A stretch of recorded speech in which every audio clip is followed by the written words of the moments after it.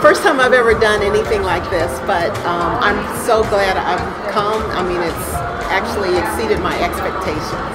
The material has been consistently spot on tips that I can use in my life, you know, starting from here on. I've got like, you know, pages and pages of notes, but the information is understandable, it's relatable. I am a entrepreneur and I just felt like I needed a push you know, in the right direction to even exceed the successes that I have. Dr. Stacia is blown away by her and, and, you know, just her speaking ability, the motivation and everything. And I felt like, you know, this would be a, a wonderful coaching opportunity for me. I'm, I'm excited. And this is only the first day and the day's not over. So I can't wait for what's yet to come.